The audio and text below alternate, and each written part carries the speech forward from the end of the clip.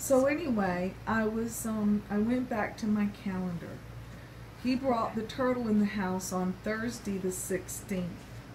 Thursday the sixteenth. That's when we Uh, found the September? turtle in the front yard. Yeah. No, of August.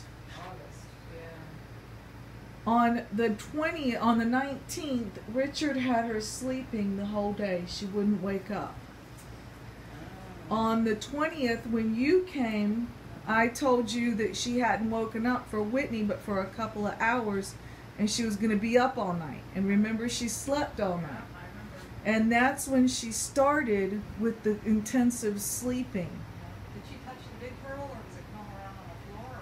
It was crawling on the floor. She didn't touch anything. Oh, no, she, well, she steps on the floor. Wow, look at her. She's just jerking away.